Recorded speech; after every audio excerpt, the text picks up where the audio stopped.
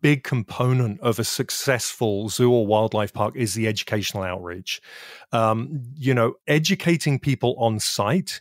So people who are there giving talks, having the information cards up so people learn this stuff is so I mean it is it's it's the most important thing because if you're not educating people then then they don't understand. Welcome. This is the Into the Wilderness podcast. I am your host, Byron Pace. It is the 19th of April 2021. I recorded this interview, I think, in the middle of February. It is with Jake Willers. He is a documentary filmmaker and one of the people behind Nine Caribou Productions.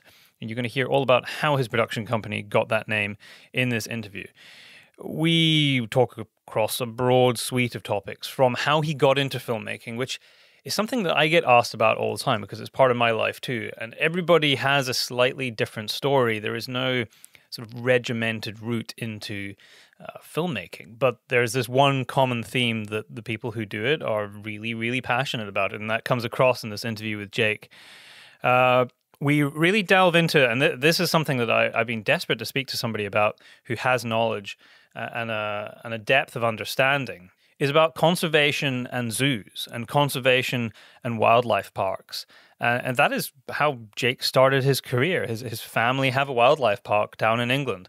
So we really delve into that and, and try and understand it better and, and why it's important and, and the, the places that do it well and the places that don't do it well.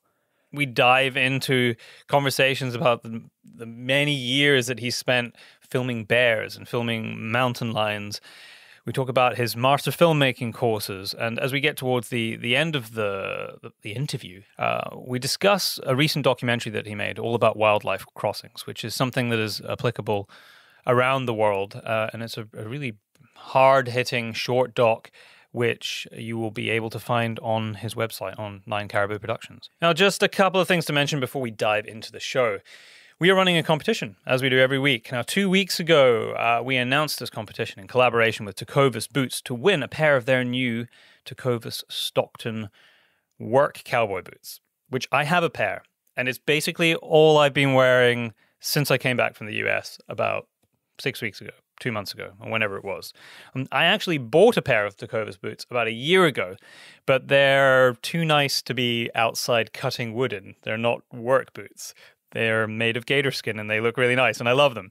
Uh, but I can't wear them all the time. So when uh, this opportunity came up, which is in collaboration with with Modern Huntsman, uh, because uh, we've been doing some work with them with the publication, uh, they suggested. Would you like to give a pair of boots away to your listeners on the podcast? And I was like, I'm sure they would love the opportunity, uh, but I don't have a pair, so it's not a problem.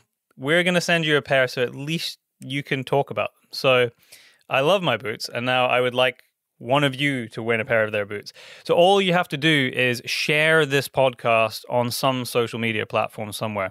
Either share the uh, wall post on Instagram or just find it yourself. Share if you're listening to it on Spotify. Just go and share that on your Facebook or share it on your Instagram or your Twitter, and just make sure you tag me at Byron J Pace. That's pretty much where I am everywhere, so that I can see that you've done it.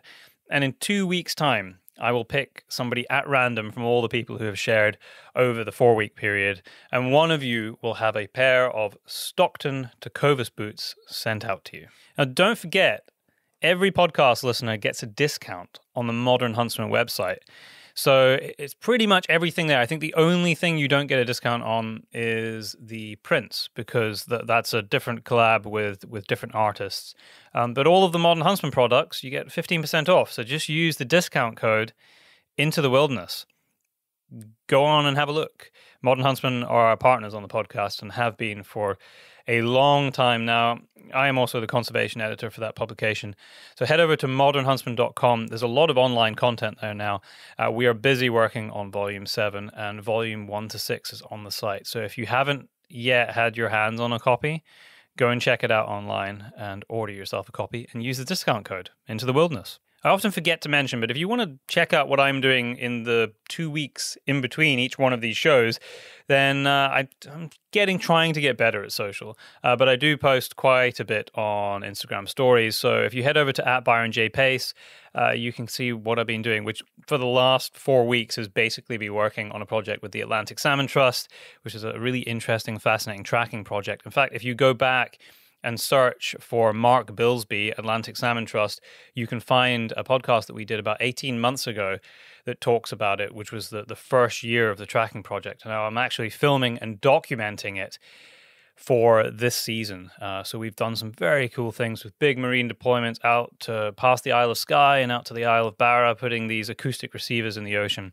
So I've been busy filming this documentary, and there will be a really interesting six-part mini series on the podcast as well, speaking to different scientists about salmon conservation. So I'm going to start recording that in the next week or two, and hopefully be bringing that to you soon. And just as a last uh, shout out, of course, to Patreon. Uh, Patreon supporters are so, so important to me and all of your interaction. Quite a lot of you have told me that you want one of the prints that I have available on Patreon. So if you go over to patreon.com forward slash Byron Pace, you can have a look at all the tiers and ways that you can help support the podcast. And right now, I'm giving away a uh, a print to anybody who wants one on Patreon of two salmon leaping that I took uh, a year ago, or uh, I guess six months ago, actually, on the North Esk in Scotland. So, yeah, go over and check it out. If you are a top tier Patreon, then I shout your name out every show.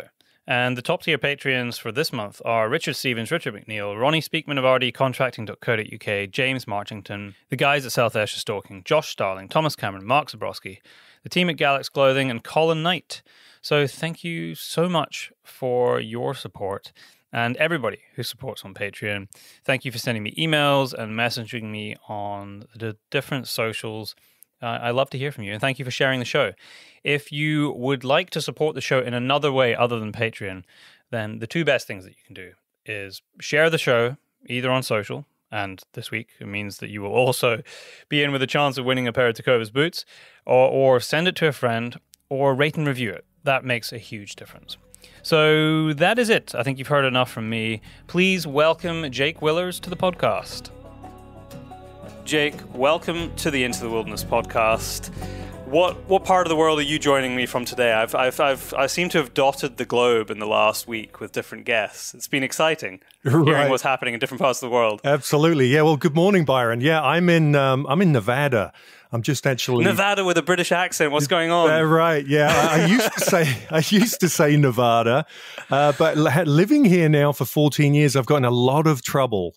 You know, um, it first started, I think, in a bar. I was in the oldest bar in Nevada or Nevada, or Nevada rather so, back then, right?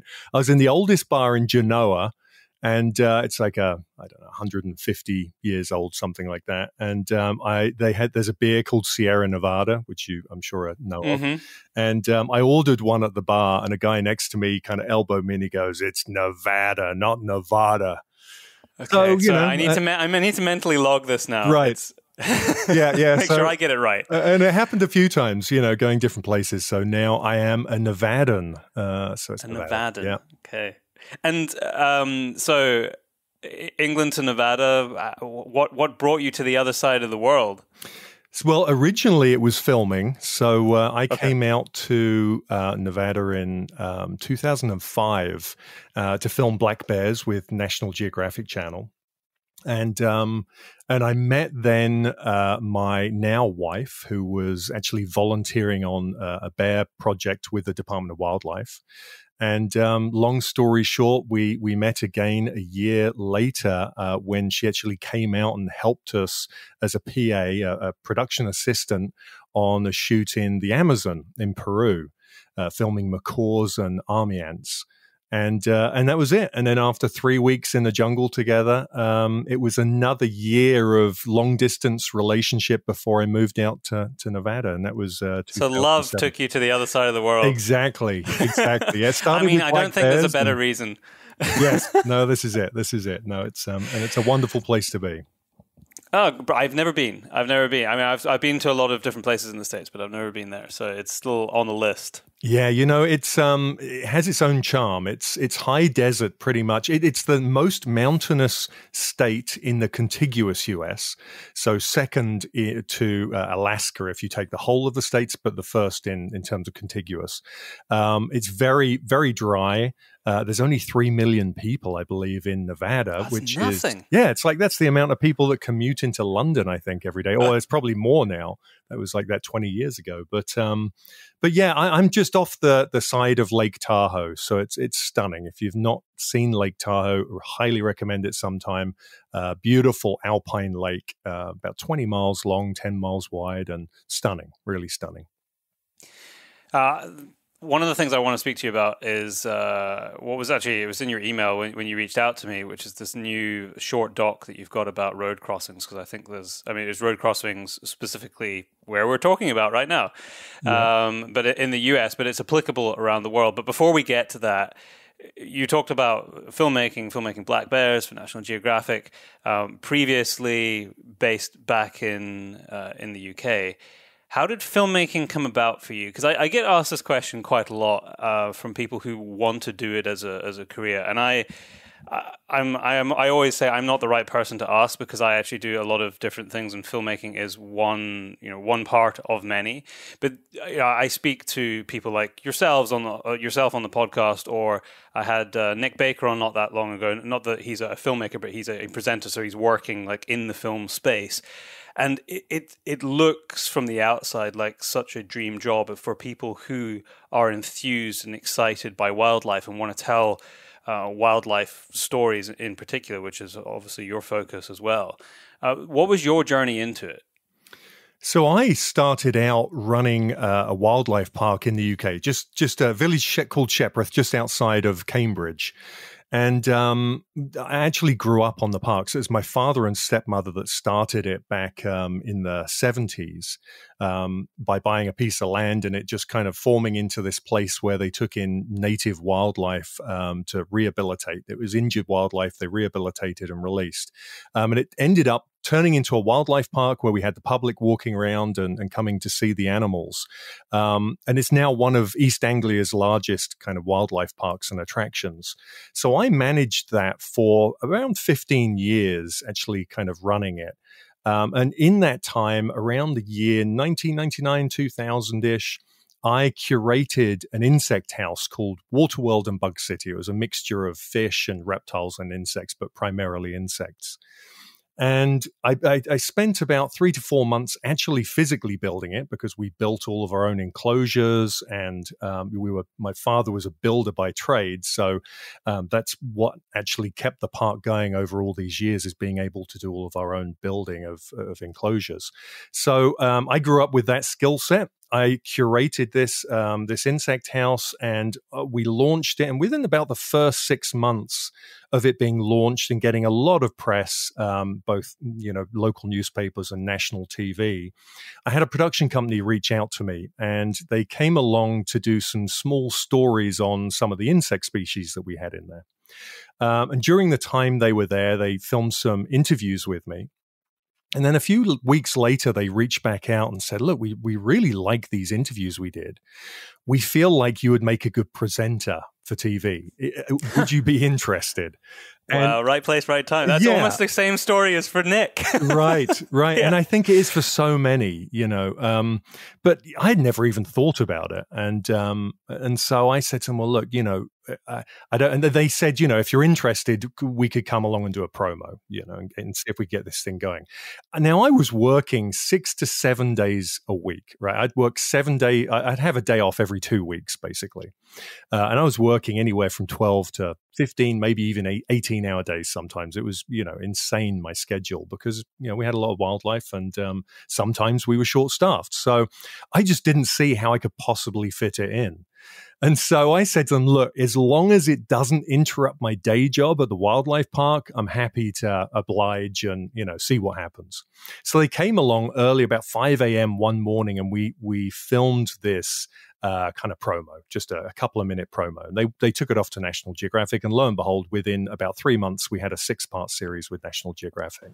That's amazing. Um, yeah. so from from from zero presenting experience whatsoever, three months later, you're presenting stuff on on National Geographic. Yeah, National Geographic International as well, which was uh, goes out to 147 countries. Well, probably more now. It was back then. So, what um, was that series? So that was called Insects from Hell. That was okay. the first series, and that was a uh, that was a six part series. Um, and then that was so popular, we, we ended up doing a one hour special in between, and then we had another seven part series from Insects from Hell, uh, series two. Um, and then we went on to do diversify, and it wasn't just insects at that point. We we moved into you know all sorts of species. So we did rogue raiders, which is where I filmed the black bears in in Nevada, uh, and then went on to do wild events, which was some of the biggest spe- wildlife spectacles and migrations in the world. So um, so I really fell into it. Uh, you know, and um, say never expected it. I think it happens this way for so many people.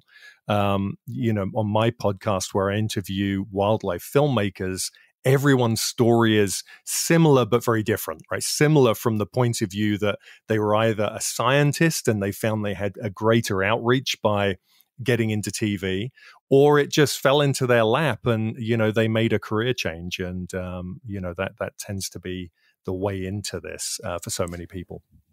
Uh, where did your because you know I've seen you presenting a number of things like some of the programs that you've just mentioned, and you know it's it's clear that you have a, a depth of knowledge in the subjects, which is a, a, very wide spectrum of subjects and species. Did that come from working in the park and a general interest, or is this something you had to accumulate along the way? You know, a bit of both. I mean, it definitely came from working at the wildlife park. Um, you know, I, I, didn't actually do very good in school at all. You know, I, I struggled at reading, I struggled at writing. Um, I I spent my weekends working at the wildlife park or with my my father uh, building. You know, in the times when he was building before the wildlife park really took off. Um, and so what happened was I had this. I, I kind of went back to school very tired every Monday morning from working from you know from a young age, and uh, and I just didn't do very well in school. So what happened was when I left and I started working at the wildlife park. I really, my passion for wildlife and um, insects, especially, really took off. And at that point, I really started to see the value of educating myself you know, I really hadn't seen the value of it before, which, you know, was uh, terrible, you know, from the time that I was in school up to 16, 17 years old. Um, but once I started educating myself by reading books, um, you know, traveling and just uh, speaking to scientists and people doing research on various species, um, this whole new world of knowledge opened up to me. And I absorbed it like a sponge at that point. Uh, and it really just took off. I mean, it was incredible uh, how fast you know you can really learn when you have I mean, passion is, you know, highly overused these days. But it, at the end of the day, you know, if you're passionate about a subject and you throw yourself in wholeheartedly, and that becomes your focus, then you know that that's that's where the knowledge comes from. I, I didn't sit at home playing video games or, you know, watching a lot of TV. I, I would read books and um, and really just observe. You know, I had a scorpion, um, an imperial scorpion, when I was about 11 years old as a pet I had a corn snake, um, various other things as I grew up. And I just observed and was fascinated by behavior of wildlife, uh, whatever it might be. And, um, and that really gave me that knowledge that uh, I implement today. It's so very true what you say there, because I think that if I think back to my time at school, and I, I was I was pretty good at school. Like, you know, I got good grades and stuff, and it, it was more just through um, an application of like c- competitiveness more than anything else. That's always what I've kind of put it down to. But if I compare that that kind of mode of learning where you're presented with stuff in front of you because you have to learn it. You have no choice. You're at school, there's a certain curriculum, you got to do your maths, you got to do physics, you got to do chemistry, blah blah blah and all the rest of it in comparison to this uh, self learning and absorbing information, because it's something that I'm incredibly passionate about and want to learn about, your ability to retain and then explain that information. There, there's no comparison to those two different modes of learning, and it, it's it's like you can learn things, but to really learn things, you have to understand the topics. And there's a big difference between learning something and understanding it. And you only, I've only really understood things that I've also had this underlying passion for. And so I, I think what you're talking about there, there's a huge value in acknowledging that there's a need for for self education, and I think that the the the information that you um, absorb in that way stays with you far longer than anything that you simply just learn. Yeah, and I, you know, I think a lot of it is, um, and I don't want to go off on a tangent here, but neuroplasticity, right? The, in the last decade or two, um, we have learned so much more about how the brain works. And I think when you're in school and you're being thrown subjects you don't have an interest in, it just goes in one ear and out the other ear, as the saying goes. And you're not really building any gray matter to retain that information. But when you're passionate and you just, you're constantly looking at the same stuff and learning, learning, learning, you're building those neural pathways that end up retaining that information. And so the more I learn about the brain, I'm fascinated because I can see that that's how my brain's working. You know, I know just to, to stay on track with something I'm interested in and it, it will stick. Yeah, it's it's it's funny actually because when you when you're truly passionate about something, you do end up uh, reading or um, or watching or absorbing very similar information in slightly different ways. Not necessarily because you're you're trying to read the same thing again. It's just that in your quest to learn something new, you often have to sift through stuff you know know already. Yeah, for and sure. it really reinforces that like foundational part of, of understanding.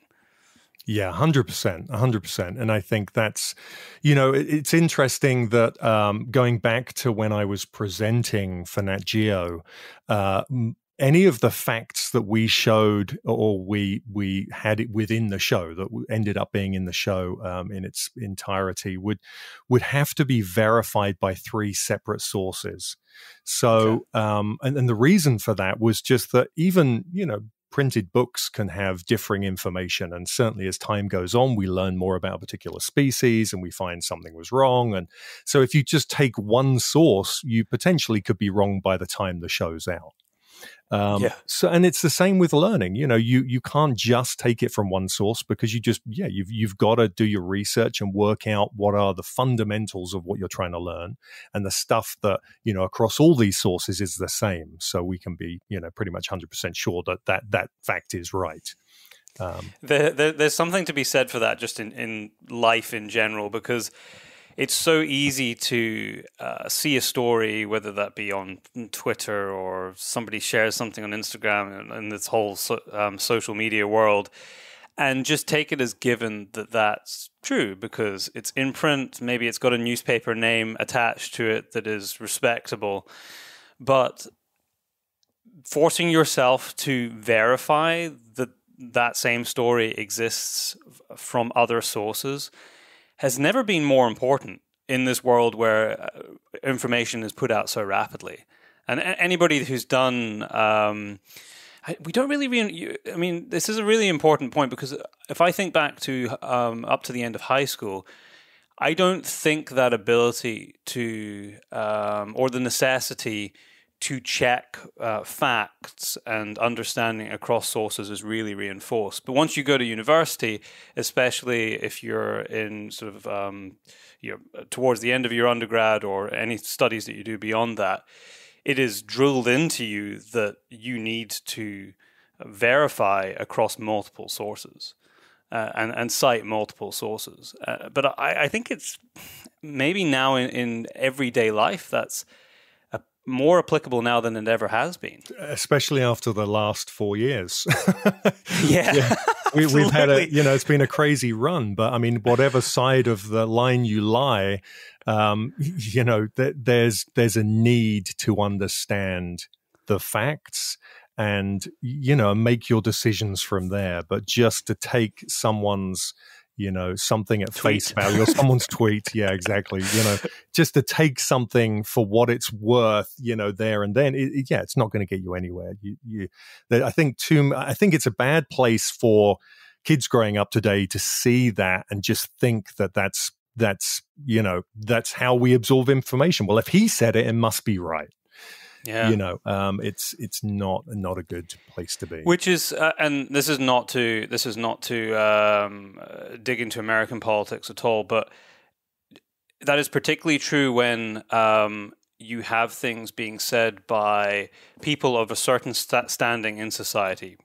Whether and i'm really where my brain was going there is you often see people with some sort of celebrity type status making statements about things that they actually don't really know anything about, and it can be very damaging. There was a there was an article in I want to say the Guardian um, a couple of weeks ago about celebrities uh, making statements uh, with regard to uh, wildlife conservation and actually how damaging that can be when they're misinformed. I mean, I don't doubt their heart's often in the right place, but I just think that the the nuances of some of these things get lost. Yeah, I agree. yeah, I think so. I think um, you know there is this trend of uh, a lot of celebrities wanting to be an ambassador for a charity or a nonprofit or something that they're into, but a lot of the time, if they're approached, you know, if it's not something they've been following for some time and they're approached by a nonprofit, it can seem like a great thing to do, you know, for yeah. to make them feel better and for their publicity and all of those kind of things. But if they don't understand exactly what it is, then absolutely, you know, you just uh, they don't have the information, and that that can't be a good thing. Just to go back to the, the wildlife park, I wanted to ask you because um, I actually don't really know anything about the the, the wild. Does it still exist? Does it? It does, yeah. Shepreth Wildlife Park, yeah.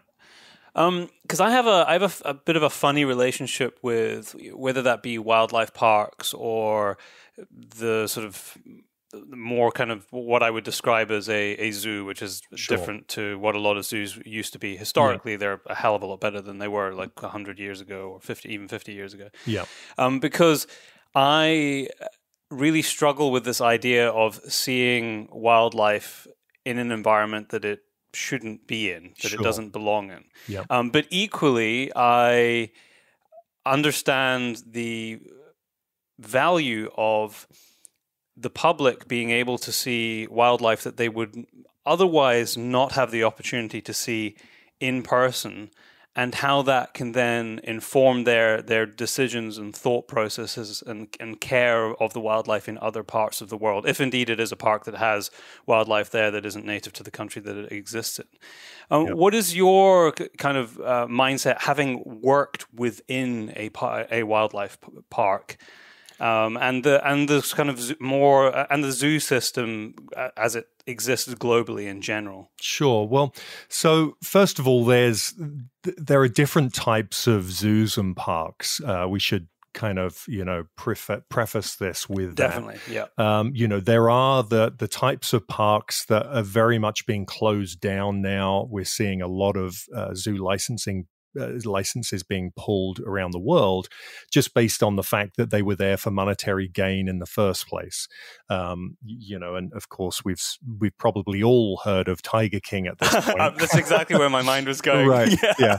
That is the epitome of what a zoo should not be. yes, exactly. And so, you know, those, those places were set up because someone was passionate about an animal and saw they could make money out of it and there, there you go. You know, suddenly you've got this place that's earning money and they realize how valuable it is because people are coming in and spending their money, but that money's not going to the right place, right? So, so there's a few ways of looking at it. There's that kind of thing, which is, you know, atrocious because at the end of the day, the animals, they might be kept well. I mean, I don't want to go down that road. Some are, some aren't, you know. Um, but at the end of the day, there's really no other reason for it being there than someone's love for an animal and then profit. And then you've got the the other end of the scale, which is like a sanctuary, which is how ours started out, which is taking in injured wildlife, nurturing it back to health, and releasing it if that's possible and if it should be released. And then in between, you've really got the zoo system uh, as we know it today, which is, um, you know, basically th- there's a lot of ways animals end up in zoos. Um, some may be uh, moved between zoos because there's not enough room to home them uh, because of overbreeding, which is never a good thing. Um, most of the time now, zoos are trying to be in a place where, and, and, I don't really keep up on, I should say this now, I don't really keep up on it. I've been out of the system for 14, 15 years. So, you know, this is just my viewpoint over the kind of the history of time. But, um, then you have your breeding programs, and breeding programs are there essentially to help build the numbers up in captivity of animals which are, um, you know, becoming uh, threatened and uh, extinct in the wild, uh, so that there is a population to keep a gene pool going. Now, there's that's another rabbit hole. You know, are the stud books being kept correctly so that it's species it's, identifications over time. Yeah, yeah. Uh, you know, are the uh, yes, exactly, and are they coming from the right place so there's no interbreeding and and that kind of thing. But if it's done well, then it works very well. Um, at the wildlife park, the first ever breeding program we had was with the partula snail, which was a snail that was from the South Pacific Islands that got um, uh, they, they, introduced the um, a snail into the South Pacific Islands to get rid of the African, uh, the giant African land snail that was introduced back in the in wartime for food. right? Oh, we so, do this so often around the world. Right, bring one thing in and then try and correct it yeah, by introducing exactly. something else. So, so I, I, took this on. It was actually um, with uh, in partnership with um, uh, the London London Zoological Society, and uh, and so we took some partula snails on. The idea was that they they needed to you know reduce the uh, giant African land snails, but then the predatory snail that they put in or onto the islands ate the partula snail, not the giant African land snails. So then it came to like physically removing them, and the point was really to build up you know numbers uh, around the world of these partula snails for reintroduction, um, and it was a quantity thing at that point because it really was just a case of they needed the quantity to to to get the numbers back up. Um, now, you know, slightly easier with a snail than it is, say, a you know a, a, rhino or a tiger or you know any of these other larger threatened species. So, so at the end of the day, to answer your question, I think you know there, there's a broad spectrum of of what's going on today.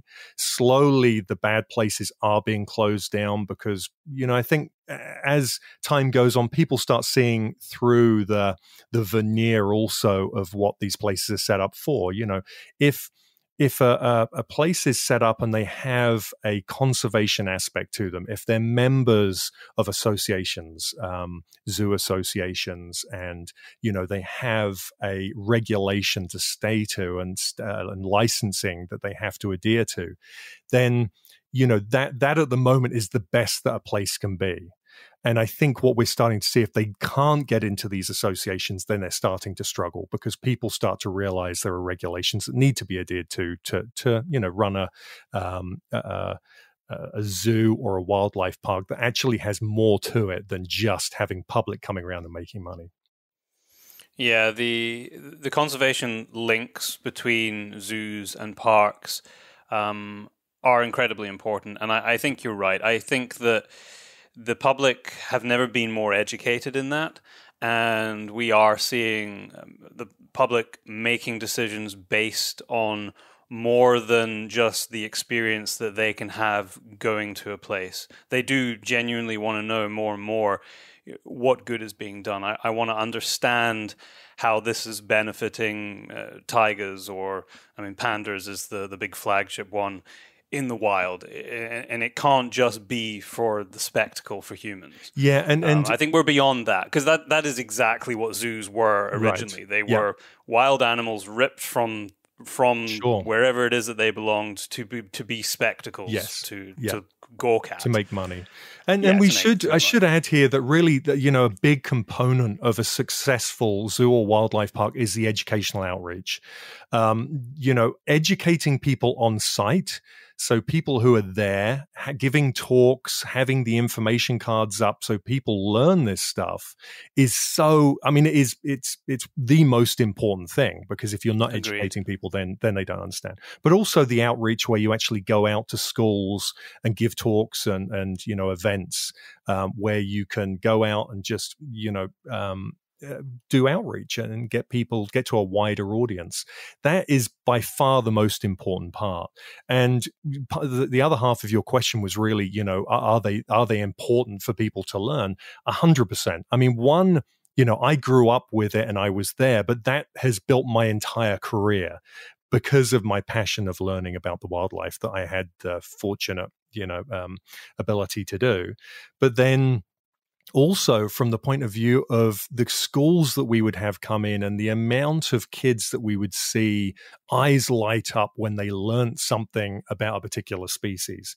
And then the families that would come back you know year after year decade after decade.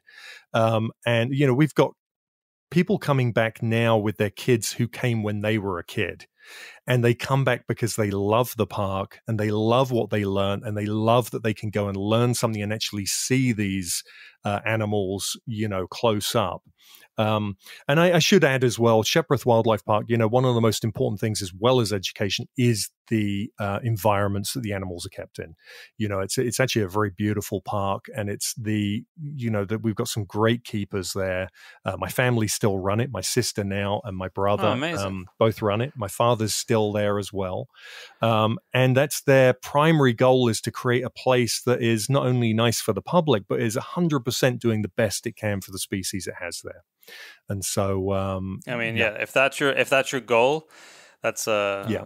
you can't go far wrong if you if you stick to that as a goal. I wonder how have um how, how have they been managing over the last year with with people not being able to actually come through the door with restrictions? Uh terribly you know, it's it must um, be really tough. Yeah, it's really tough um, because the costs, I, the costs to keep a place like that running exist whether people are coming through or not. Yes, the costs are astronomical. Um, the the wildlife park through the time when I left school and and started working there full time um, for about ten years, we were on the brink of bankruptcy at least five times.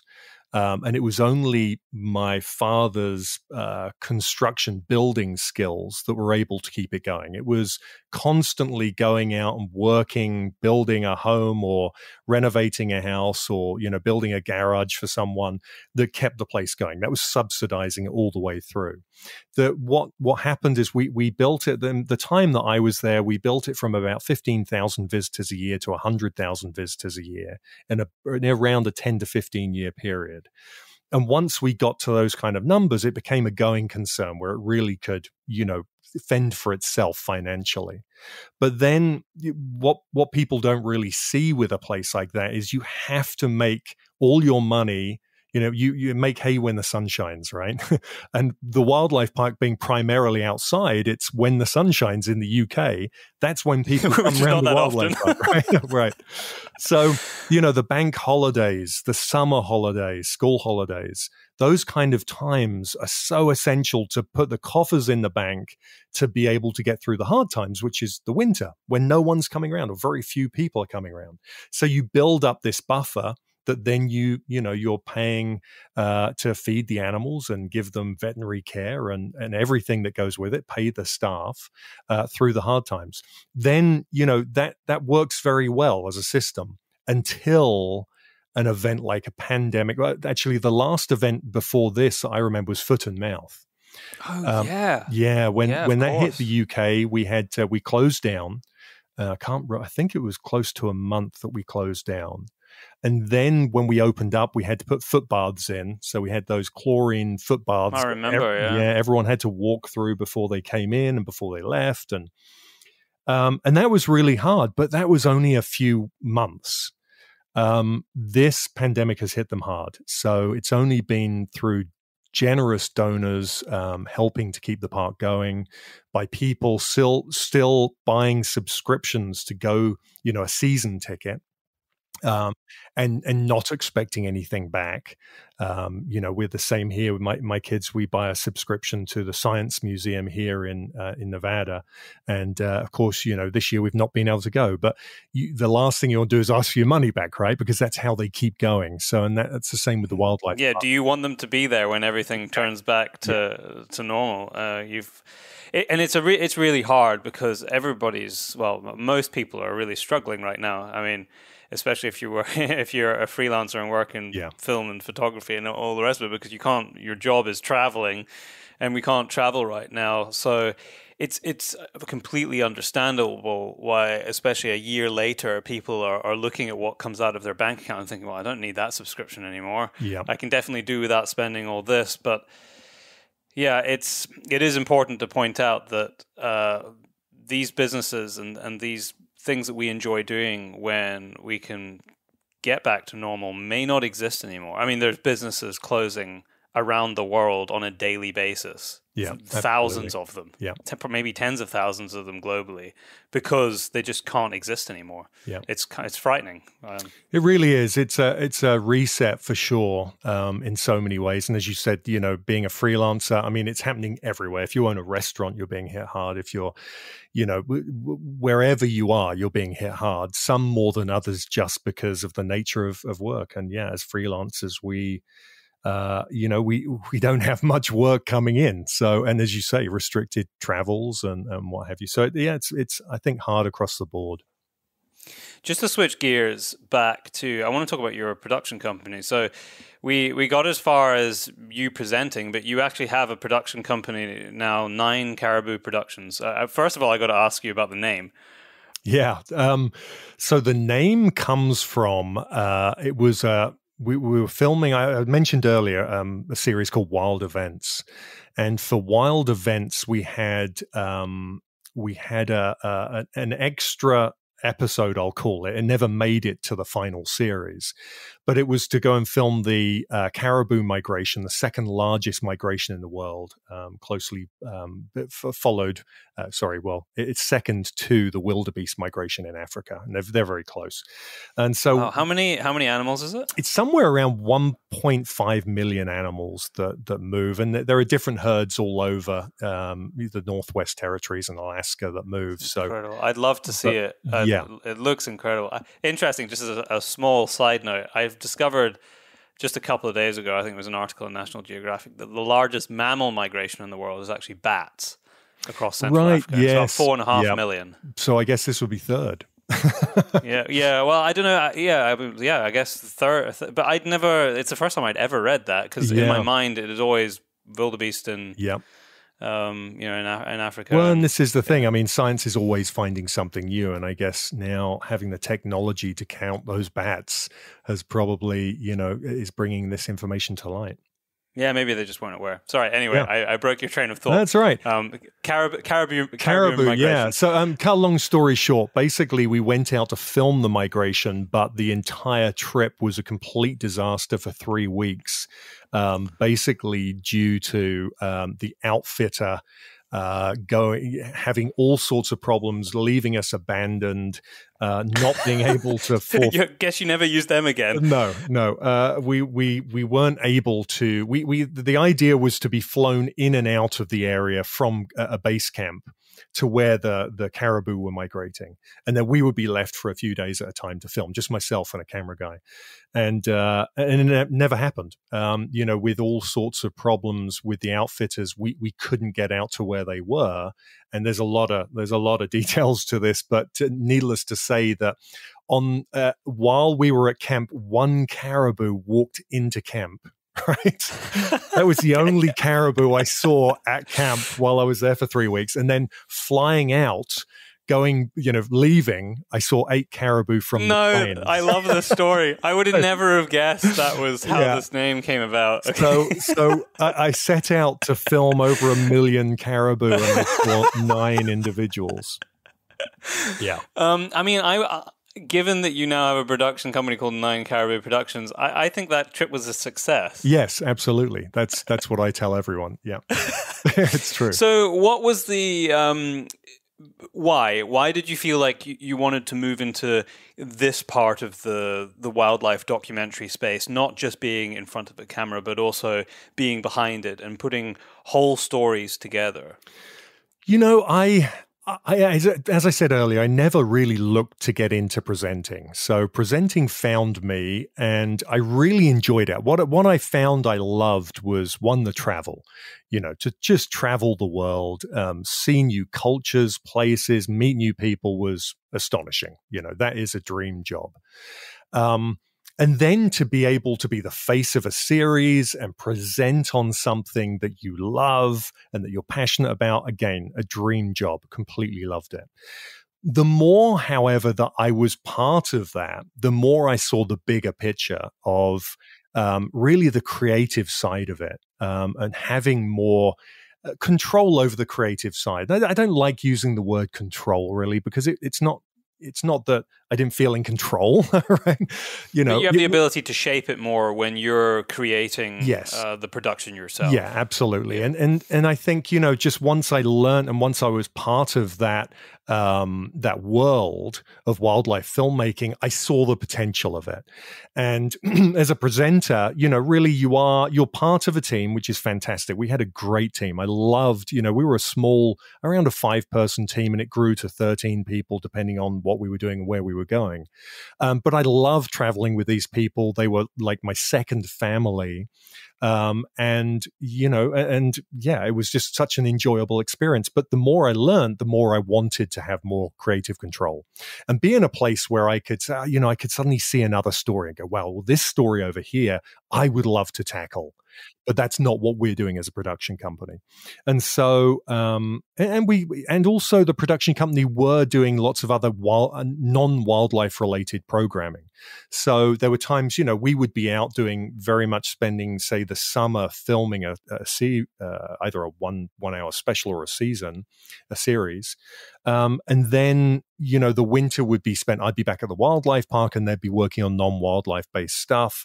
Um, and so it just, yeah, I, I got this um, this bug in me that uh, very much like so many people in the industry do. I could just see the potential of what I could do with this if I was a camera person and a producer and maybe a host as well. But just you know, moving around within that kind of that whole um, world of you know everything other than just a presenter. So, what was the what was the first big uh, project and story that you that you picked up uh, on the back of setting up your production company? You know, so there wasn't really one defining thing that that happened from that point of view. What it was was um, I start I carried on filming bears. So I moved from the UK, and this was really where it all it all took place. So I I left the wildlife park, left it with the rest of my family. Um, I got married and moved to Nevada, where my wife uh, was from. And at that point, I started the production company and continued to film uh, black bears because that's what the the the species that my wife was involved in up until that point. Um, but then she started, she embarked on her PhD with mountain lions, and this was to it ended up being a seven year project, um, collaring with GPS satellite collars uh, mountain lions around Nevada, and it oh, was wow. the first project on lions in 40 years in Nevada. So it was very much in need of an update of the data and, you know, for management purposes.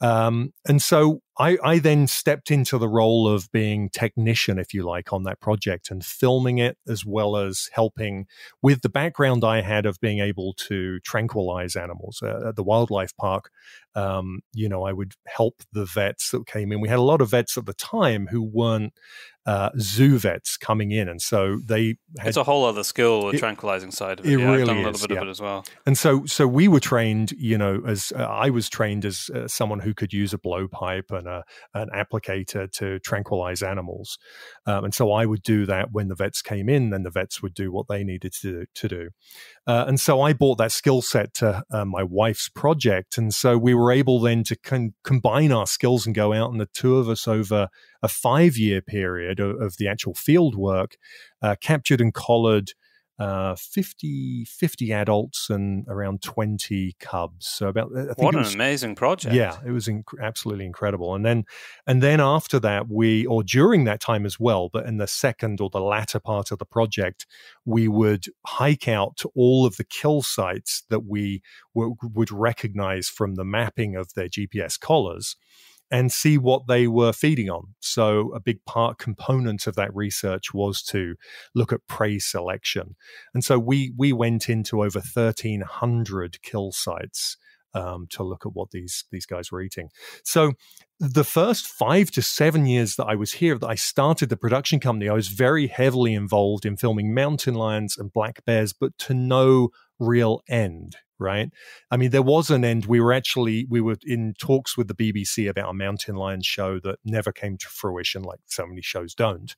Um, but really, it was gathering footage at that point because um, we also had the project, and the project was of paramount importance after that, I then got really hooked into the urban bears, the the black bears that were in rural, uh, sorry, in uh, coming from rural areas into urban areas, or in the human wildlife wildland interface. So where the bears come out of the mountains down and start coming into the suburbs and, and the cities, and that fascinated me because it was something that we had filmed, you know, a few years earlier but it was happening all the time. And as droughts were happening throughout California and Nevada, it would happen more and more.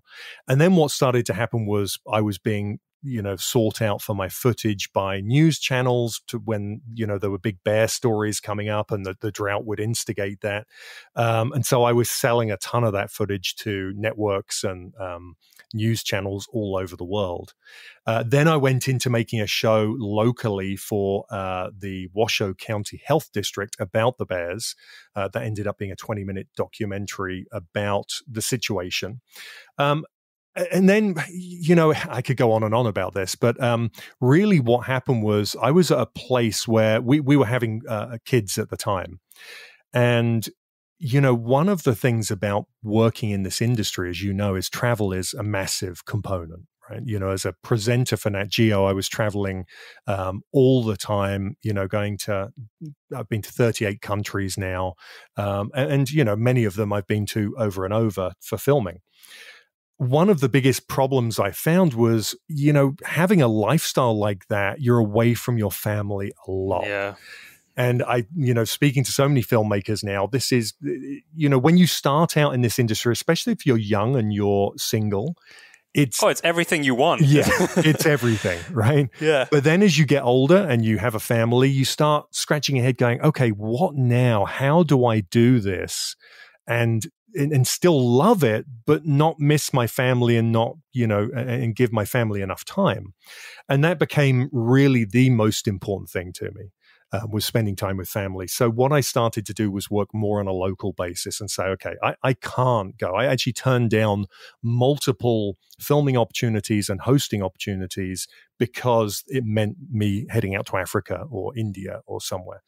Um, and that was a hard it, choice. For, was a hard choice. I was about to say. I mean, I I I, I think I understand uh, the the draw and the desire when that's something you've always done, and, and clearly it, it's it's somewhere very deep seated in who you are because that's we've been so much of your life going to these places and telling these stories. To so to turn that down is difficult even even when it's this uh, this choice which isn't really a choice because obviously you're going to spend time you know or you, there's a, a, a need and a deep desire to spend time with with a family especially if you have a young family yeah uh, but it's still hard it really is. Yeah. Well, I, I mean, imagine it's hard. I haven't had to make that choice right. yet, but I imagine it's very hard. You know, as you said, it kind of it goes against all your your principles and your you know your everything inside you is telling you, you know, you've made this career, you've had this incredible career, and now you're at this point of turning down opportunities. And yeah. you know, the twenty-year-old version of you would be going so mad. Yeah, absolutely. it's like, what are you doing? But you know, priorities change. So uh, they as do, much absolutely. as as much as I'm saying this was hard, the first time it was hard. The first time it was like, oh my gosh, and I'd sit down with my wife and discuss it, and I'm like, you know, I'm turning down the money, I'm turning down the experience, the opportunity, all of those things. I mean, being paid to travel and do what you love, right? That's what everyone aspires it's like, to. It, is that a job? Right. People do that? Yeah, exactly. so every, you know, wh- whatever you do, you aspire to be able to do something along those lines, right? Yeah, yeah. And so to turn that down felt like it was going against every cell in my body. But there were the other cells, if you like, that were saying, you know, you have a family now and this is actually the most important thing to you. And I've had an incredible run as a presenter and I have an incredible. So at that point, it was like, if it all ended overnight, it would be a shame, but this is my priority. but but really what i looked at doing was how can i take everything that i have all the experience i have in this industry and how can i now turn it on its head and make it work for me right? Rather than worry about what i'm missing out on what can i look forward to? How can i turn this around? yeah what can you create? Yeah and so that really led into one working on a local basis for wildlife nonprofits and not even just at that time, you know, I looked at ways of how can I keep filming and earn a living. And so I actually turned to the commercial world for quite some time. To, I know that world. Yeah.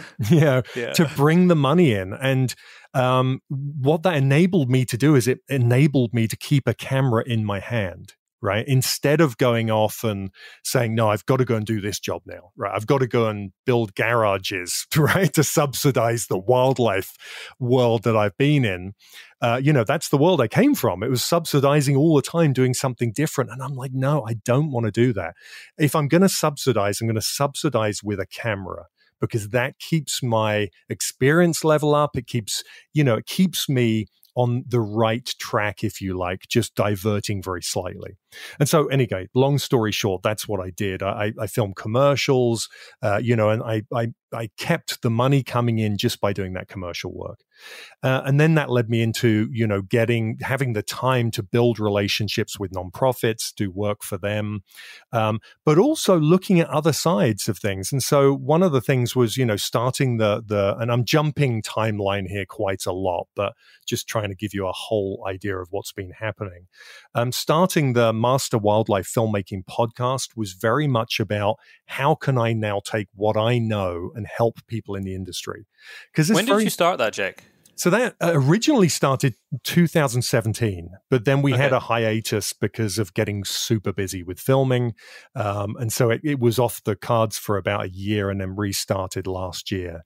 So oh. now it's a monthly episode going out, um, and you've had some amazing guests on there. We really have, yeah, really yeah. have. Um, got some. R- Rob's a friend who you had on on most recently. Yeah, Rob Nelson. Yeah, yeah.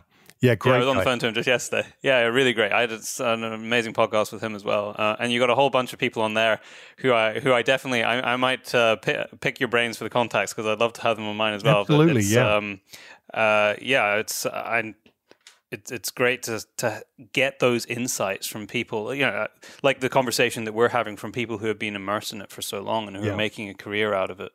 Well, and like you said, there's very few places, you know, you get a question a lot about how do you break into the industry? And the whole premise for starting that podcast was to show, you know, rather than tell people this is how you break in, was to show how everyone else broke in. Because um, there is no because there, there is no exactly, standardized way. Exactly. There's yeah. no blueprint. There's no floor plan or, or, or plan that with arrows on that just shows you, hey, do this. You know, jump these hurdles and you'll be in. But there is quite a, um, a similarity with how everyone's got into it. And there certainly are things that you can do to better your chances. And so with the podcast, that was kind of like my educational outreach, if you like, similar to what we were doing at the wildlife park, but for wildlife filmmaking. And then on top of that, I started up a mentoring group, the Master Wildlife Filmmaking Mentoring Group, which is subscription based. People, um, I go live once a week to my group. Uh, and answer all their questions. And those quite questions they can direct straight at me, whether it's about how they breaking into the industry or they're having a problem with this technology or the you know storytelling. And that's available on your website, isn't it? That is, yeah, yeah. yeah. And um, you know, that has been so incredibly valuable for a few reasons. One, I love sharing my experience and I know how the other person on the other end is feeling because I was once there, right? So I love being able to give the you know the information out that I've you know accumulated over the last 20 years in this industry um, but also it's diversifying my income stream if you like going back to what I was saying about how do I make this work for me well, now, you know, by creating all multiple streams of income based around the same industry, it keeps me in the industry, but not having to travel as much as I used to to be in the industry. So it's really, you know, trying to just look at different ways to make it work, but at the same time have the same impact out in the world. Yeah, no, I I, I have a very similar mindset actually, but and have done kind of since the beginning um, because uh, so I, I suppose what I really started doing in this kind of space was probably writing. Uh, but writing, especially for UK publications, it's almost impossible to be able to eat at the end of the month and just right. do that. Yep. And so then it was, uh, you know, filming and photography and, and, podcast and the other stuff and the commercial work, like you were talking about. Um, and the last year has, has really shown that if I was just a photographer, I'd I'd be kind of screwed to be yeah. honest. Yeah. And it's just uh, fortunate that there was these different elements to the work that I do. But like you said, they're they're all kind of focused along the same lines. They're all having very similar kind of discussions, but they're in different mediums. Yeah. Uh, so it is it is for people whether you're starting out or further on in, in your career. I think it is quite important, or it's becoming increasingly important to have that as a kind of safety net. Yeah. And I think it's, you know, what's so nice about this industry is really you check your ego at the door. You know, it, it's very leveling in terms of, you know, for people wanting to get into this industry. Yeah, it's fantastic. You're doing something you're passionate about, you love, you want to get up in the morning and get going. Um, but at the same time, you know, I came from being a National Geographic presenter, you know, traveling the world, traveling to go and give talks uh, all around the world, um, you know, being on TV every night to then filming furniture commercials, you know, in Nevada and and turning into this whole different thing. And people who knew me would go, "Oh my gosh," you know, they they they looked at it as like this huge step down. And I, I, said, you know, this is this is a progression for me. There's no rooms for ego, right? There's no room for ego. You have to be in a place where if you want to stay in this industry and make it, for me, that's how I made it work at that time. And um, and I think that's hugely leveling. It's really important. We see many people come and go in this industry because um, and you know, speaking to Rob about this, uh, Rob Nelson, when he was on the podcast, that you know, it's really there's not if you get if you put a film out there and you win an award, there's this there's two types of people. There's the type of person who think, "Wow, I've made it. I've just won an award." If you're out for awards, you're going to fail very fast because an award doesn't give you anything other than that you know that trophy on the day. Yes, it may open the door to a few things here and there, but it's not going to set you up for a career. Yes, it could be used as a stepping stone, but you've just got to be very careful of of not thinking that you're making a film to win an award because that's where it all starts from because it really isn't. You know, it's just people in this industry understand that if they get an award, it's a great accolade. You know, you've been compared to other things out there, you've done a great job, but it doesn't mean you're set for life. You know, this is a, some great advice there. Yeah, great advice. It, it's hard, hard industry to be in. You've got to have the love for the game if you want to be in it. That's that's as simple as that. And I think everyone who you've probably spoken to and, and myself on the podcast, uh, you know, will will uh, reiterate that and, and say that many times. Yeah, I, I, one other thing I'll just add before I kind of move on to the maybe one of the last things we'll talk about is that you know I'm I'm kind of I'm on the periphery of the industry for want of a better word because I have the I'm in the fortunate position where I get to interview people like yourself and and Rob and, and Nick Baker. Um, but the the one thing that I've been blown away by is that well, one, it really is a very small industry because, especially in the wildlife documentary, the wildlife human interaction documentary space, everyone seems to know everyone else. Yeah. But everyone that I've dealt with has also been incredibly nice. Yes. yeah. and and really helpful. Yeah. The, the, people who are involved in it, who have uh, gone through the journey, like the one that you've been telling all the listeners, are very willing to help other people because you understand the challenges that are in front of people and you understand this kind of deep seated passion and reason why people want to pursue it. And and the fact that it, it really is quite eh, difficult. It's not a it's not an easy road but eh, my experience of it is that it hasn't been um, you know a whole heap of people who have done really well and been very successful wanting to keep other people out. It's been a very encouraging sort of community of people inside that space. Yeah, hundred percent. And and like I said, you you check your ego at the door. You know, there's no there's no room for that. It's a small industry. Uh, everyone helps each other out. You know, you can pick up the phone and speak to someone if you're having a problem with a particular project, and they'll help in any way they can. Um, that's because there's a bigger a bigger thing at play, and that's that's you know the the industry as a whole is all aiming to do the same thing. You know, we, there's not really any room for a person coming in and just trying to become the, the you know a, a star, and you know that's it. You know, it's all about them.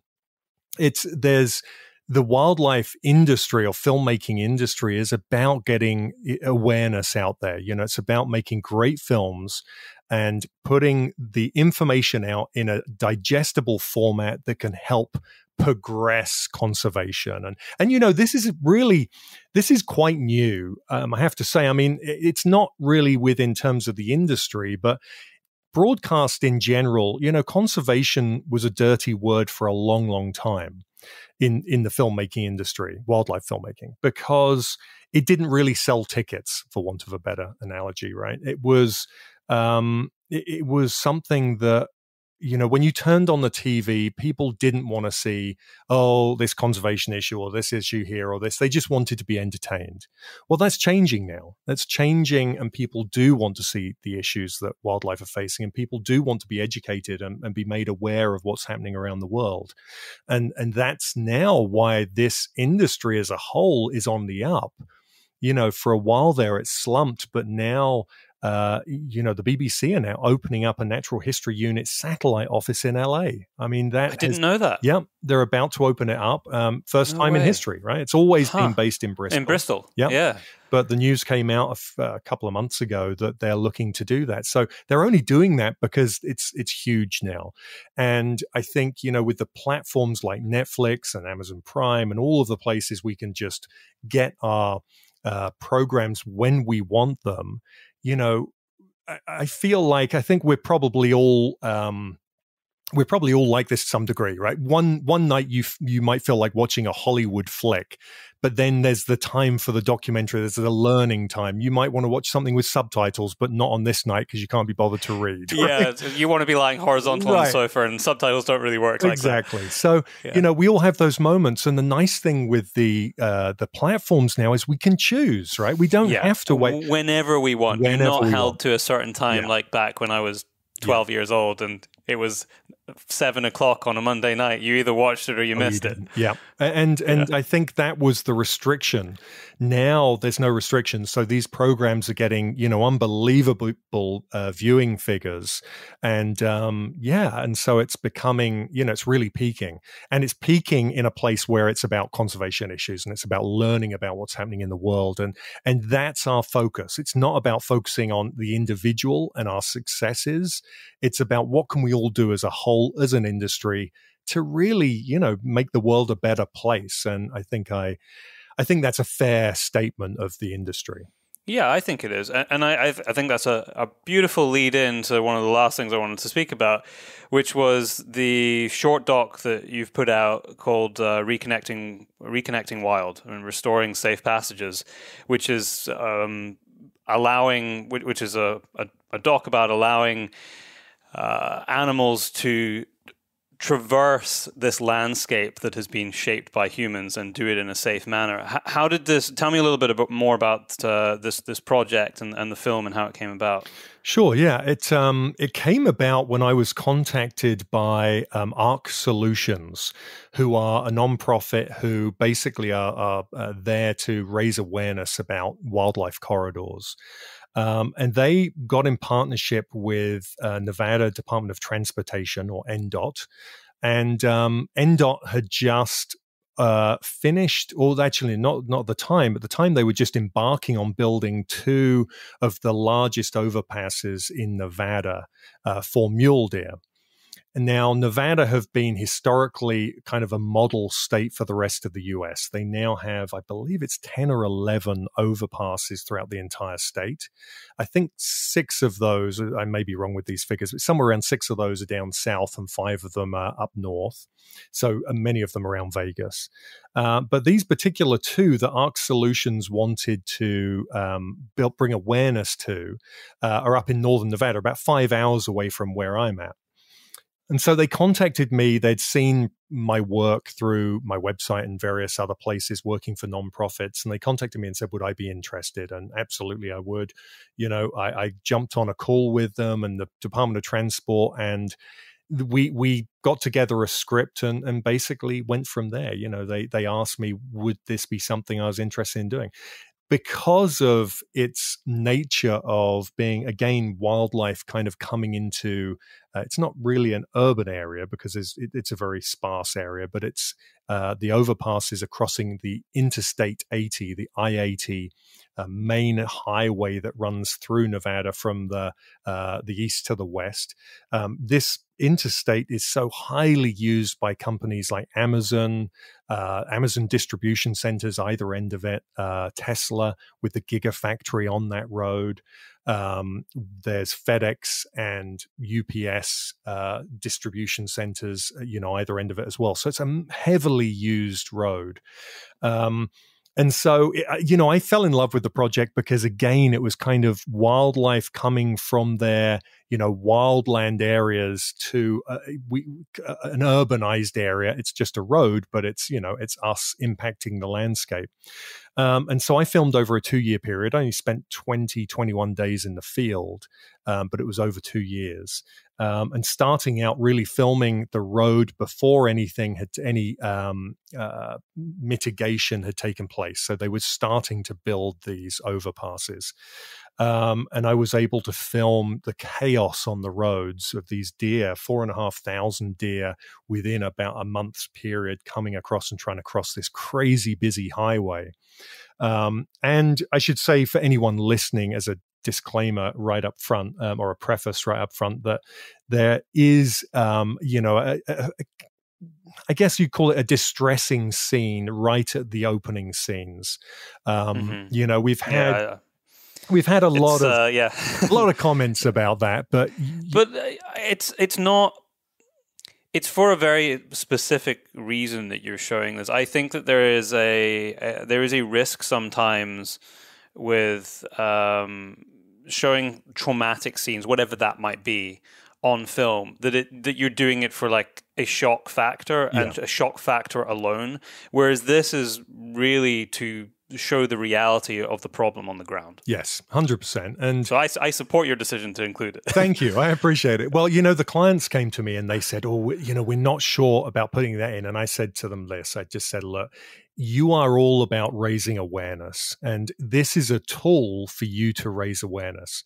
By not putting it in there, you're basically pandering, if you like, to the people who you think you're going to upset who are really already on board with this kind of thing. What you've got to do with these kinds of tools is is change the minds of people who aren't on board or who aren't who don't really care. And the only way you're going to do that is by shocking them into it if you like. I mean this is harsh way of saying it but but at the end of the day if you want to change someone's mind then get their attention. And the point of that is to get their attention because uh, at the end of the day the scene is a collision shot of a deer being hit by a truck. And actually it's a very clean kill which is why i used it. There's many many messy kills on that road but this was very clean and it was actually the deer running into the side of the truck not actually being hit by it. Um, but the point of that is to say you know if i if if the narrator tells you that this road has you know hundreds x many you know road um, uh, collisions with a with deer uh, in a year or in a month or in a day whatever it might be then you'll go oh yeah okay you know i you know i, I know people hit deer on the road you know but you see it instead of just being like, oh yeah, I know. You go, you gasp, and you go, oh my gosh, you know, it's suddenly it's got your attention, and it means a whole lot more than just being told it. Um, I had the um, the pleasure um, of watching, uh, and this was just before everything shut down here, February last year or January last year. Um, I went to the Wild and Scenic Film Festival. The film's been in 13 film festivals and, and won an award at one of them. And I had the pleasure of being in the audience and giving a Q&A afterwards to an audience, which was the last one. The other 12 festivals were all virtual for obvious reasons.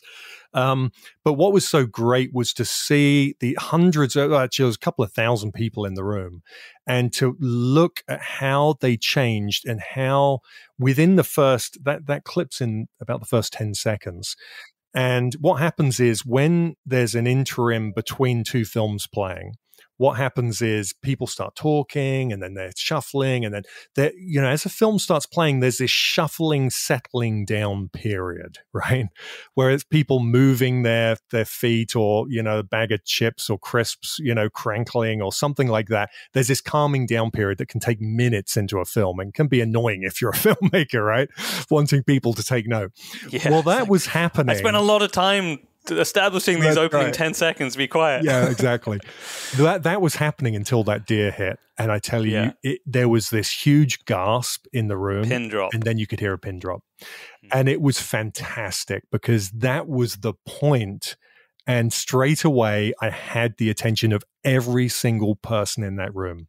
Then what happened is they watched it, and then there's another scene in there where a deer is on the road, and people and it doesn't get hit, but but people assume right because they've seen one, they think, oh my gosh, I'm going to see it again. So there's this right, the whole room you could literally feel the atmosphere change, gasping again, and then there's this settling down. But for the 12 minutes of the film, I had their undivided attention, which um, is why that film. I, I, wouldn't say, you know, I mean, I, I made it, I, I, I, filmed it, I produced it, I edited it. Um, you know, I rewrote the script for it, that kind of stuff, or, or reposit. I mean, I didn't write it. I asked the questions. It was told by interview uh, interviews and interviewees. But um, the point is that that was my intention and that's what it did. I wouldn't say it's the best film thing in the world, but it got into film festivals, I believe, because it made uh, you know, it raised awareness, and, and that was the whole point.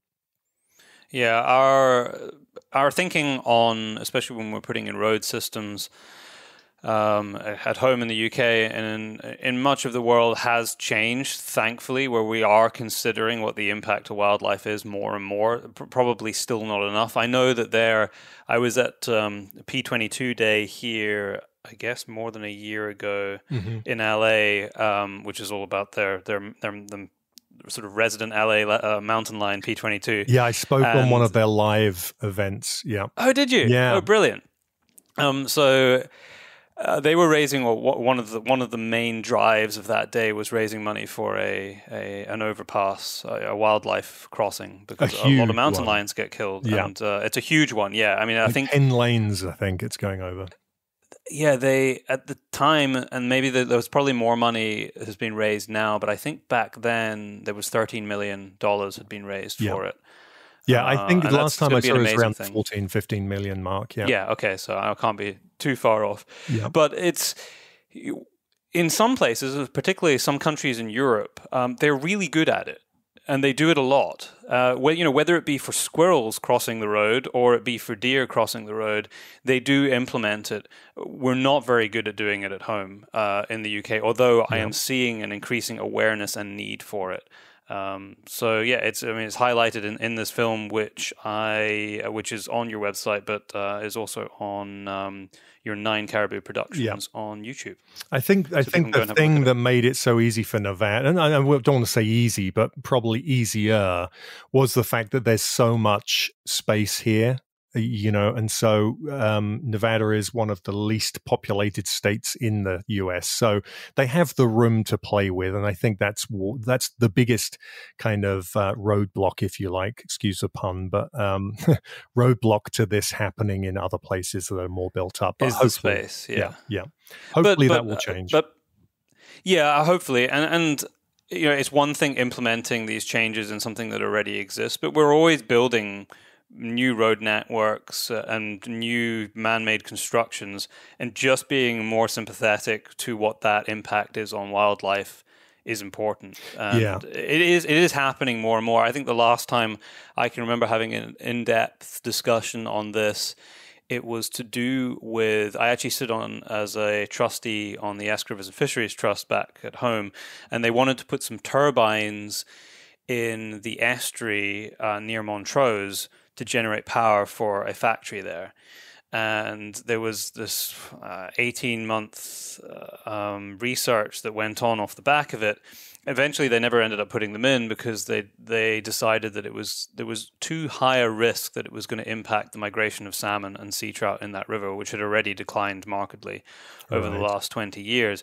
But it's considerations like that. Whereas if you turn the clock back, I don't know, maybe you only 40 years, 50 years, they probably would have just done it. Yeah, absolutely. The, the yep. environmental consideration just wouldn't have been there. No, and that is a positive. No, I right think direction. I think you know it's um it's just raising people's awareness of why these these um you know uh, structures in the case of the deer need to be there. You know there was a lot of backlash. I did a film uh, eight or nine years ago on pronghorn in wyoming and it was the same thing. It was a, an overpass that had been put in next to a community and the department of wildlife and transport were having a huge problem with many of the residents who were up in arms about it.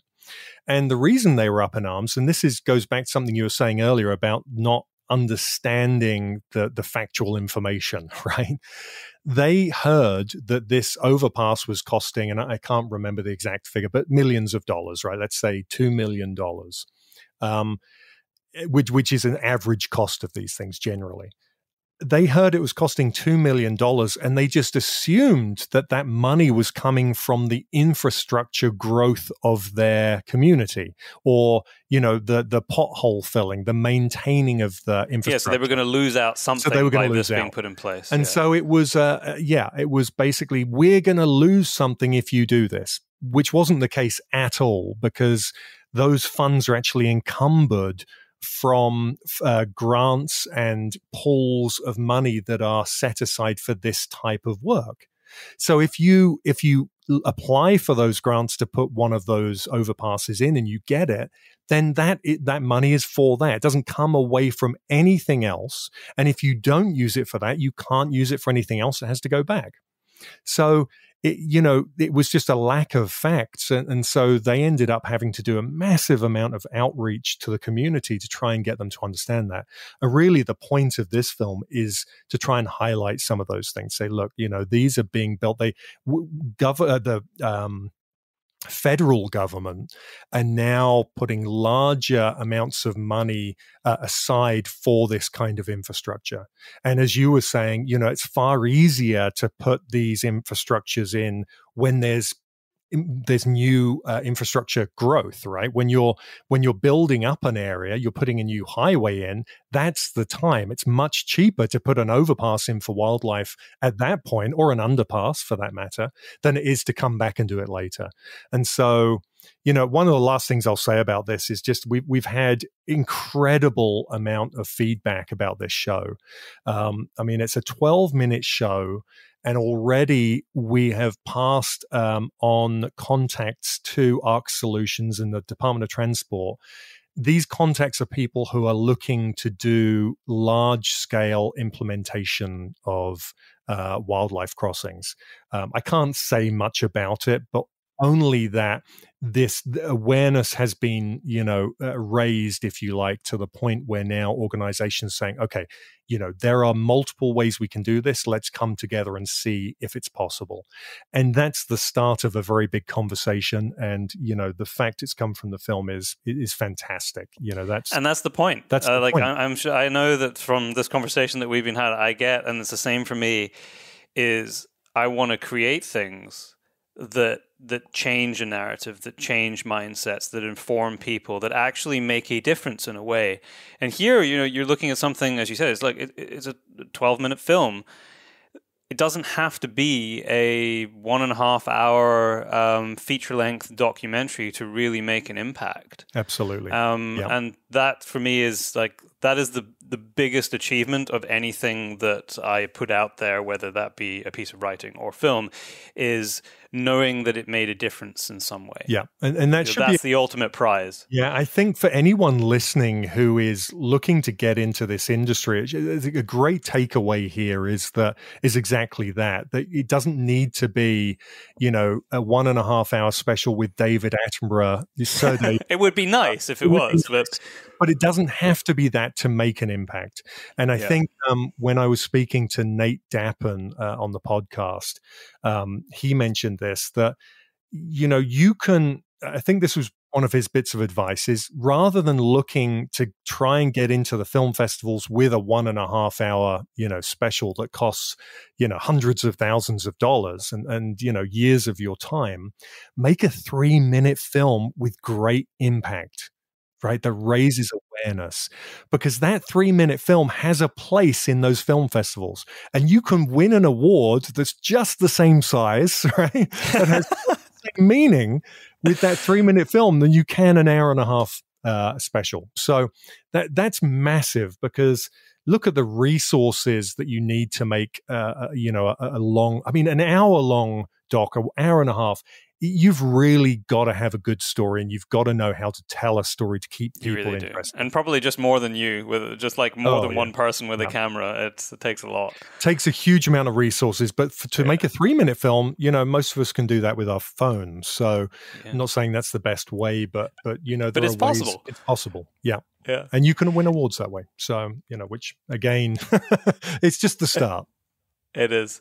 Jake, it's been a great conversation with you today. Uh, thank you so much for your time. Uh, I encourage people to go over and listen to your series. You have 30 or so shows right now on, on your podcast? Yeah, I think it's a, I think the next one is 28 or 29. Okay. episode going out but yeah one a month at this moment and hopefully we'll build that up to more eventually and just remind people uh, how they can find it if they go and search from wherever they, they listen to podcasts. Sure, yeah. They can basically, it's anywhere you find podcasts. So iTunes, Apple Podcasts, uh, Spotify, Google Play, Amazon, uh, all the big names. It's, it's out there. It's the Master Wildlife Filmmaking Podcast. And, uh, and yeah, if you pop that in or just my name, Jake Willers, you, that will come up for you and the places where people can follow you on social and website and all that. Yeah, and I, am pretty terrible at social media, so you can follow me by all means. But um, that's good to know. Yeah, so um, Jake Willers' uh, YouTube channel is Jake Willers, so um, that's probably one of the best places. That there's also the podcast is now being filmed on Zoom, so you can actually go and watch it on YouTube under just Jake Willers.